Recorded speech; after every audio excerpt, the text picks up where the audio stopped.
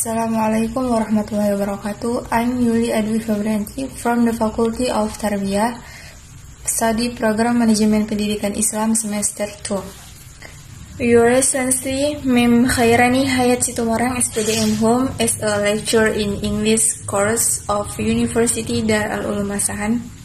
Assalamualaikum warahmatullahi wabarakatuh.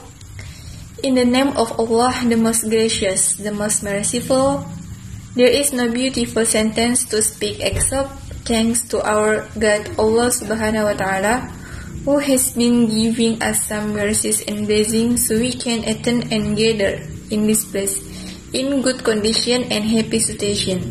Secondly, may peace and salvation always be given to our Prophet Muhammad sallallahu alaihi wasallam, who has built us from the darkness to the brightness from the stupids to the cleverness.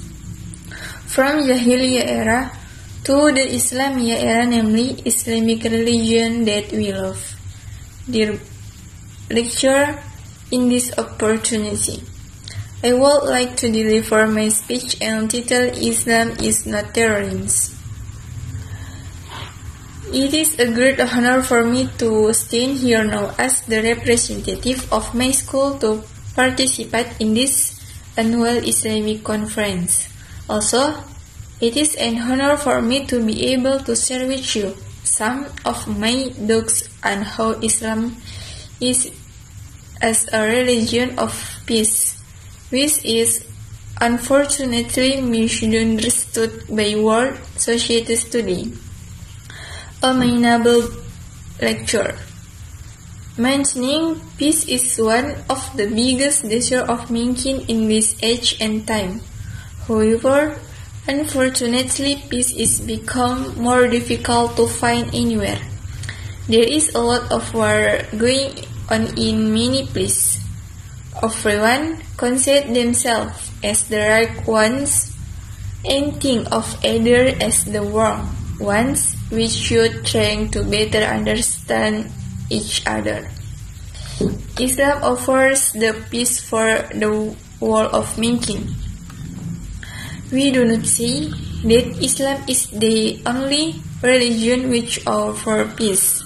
However, the term Islam itself derives the Arabic root salam, which means peace of submission to the will of Allah. Someone who commits acts the terrorism even if commits in the name of Islam does not deserve to be called Muslims.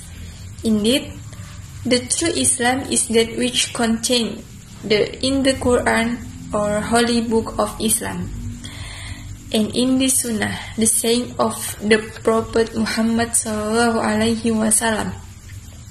And not everything that is said to be Islam is in concert part of the religion of Islam. It needs to be returned to the Quran and to the Sunnah. Allah the most merciful said, And do not kill those souls whom Allah has prohibited unless justified by a legal right. Surah Al-An'am Verse 151 the Prophet of Muhammad Sallallahu Alaihi wasallam said in an authentic hadith by Imam al-Bukhari, Whoever kill a non-Muslim who has an agreement which the Muslims then he will not smell the fragrance of paradise.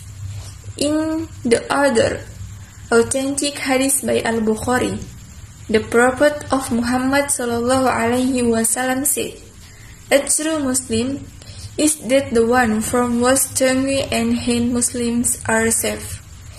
It is very clear that Islam gives a warning against every act of terrorism, and we thoroughly understand if the acts of terrorism are committed by a Muslim, meaning that they have violated Islamic law within the Quran and Sunnah. Only people peace can be called as a current Muslim.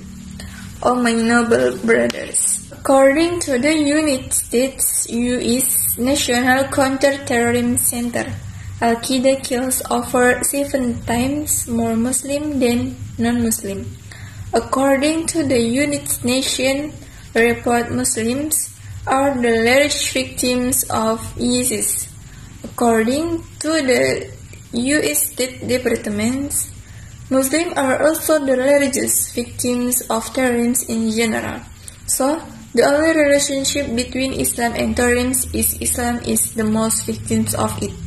Finally, this is the true Islam that I can explain to you today, far away from the image raised by the media.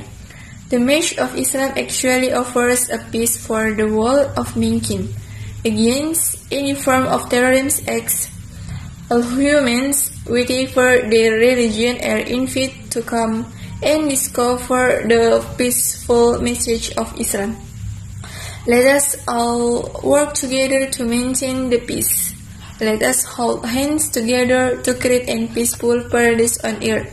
May Allah help us to do so. God bless. Amin.